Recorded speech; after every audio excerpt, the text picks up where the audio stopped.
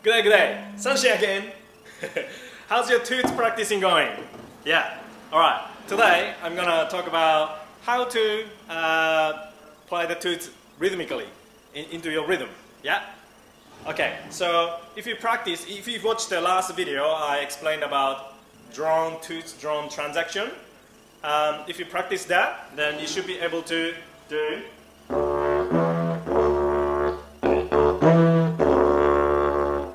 Yeah? How about practicing like this? Um, if you play just normal rhythm, uh, whatever you play, for example, I play uh, didaro, didaro, didaro, didaro.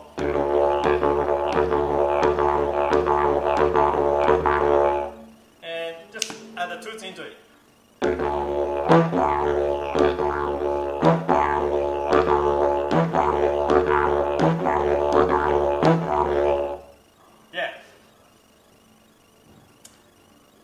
Was gonna say. cut, cut, cut. So, important thing is practicing slow and bring the speed up. You want to just want to play faster and faster, and what end up is just messing up the sound. So make sure that your sound is nice and clear and slow to start.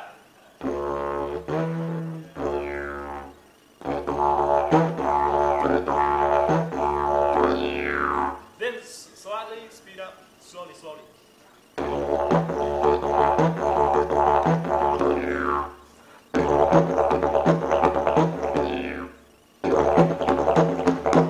Yeah.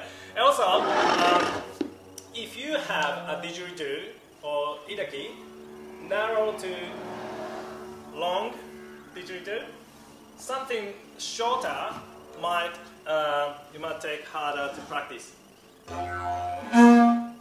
The toot sound is more higher, so you have to work on a little bit more harder.